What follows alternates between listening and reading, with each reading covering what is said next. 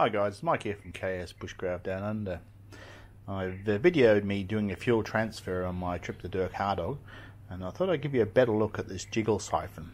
So this is a this is a quality bit of kit. Good quality hose, it's reinforced.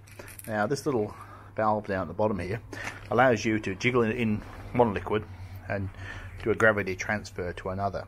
So really important with diesel vehicles to uh, not introduce dirt and crud to the fuel system, especially on common rails.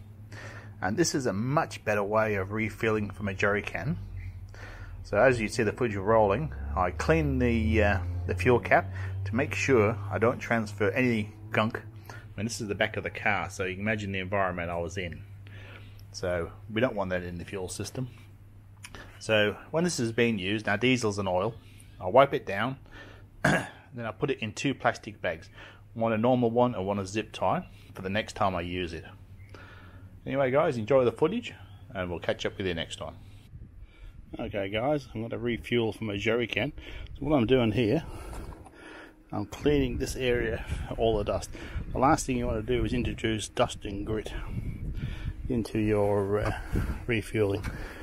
I'm getting in here with some soapy water, getting this area around the cap clean as possible before I'll use a siphon line to get it in.